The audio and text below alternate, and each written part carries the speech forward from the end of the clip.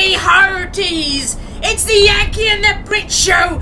Talk like a pirate day on Wednesday, the 19th of September, so bring your wenches and your beer, me old scurvy dogs, and join us on the Yanki and the Brit Show! Ooh!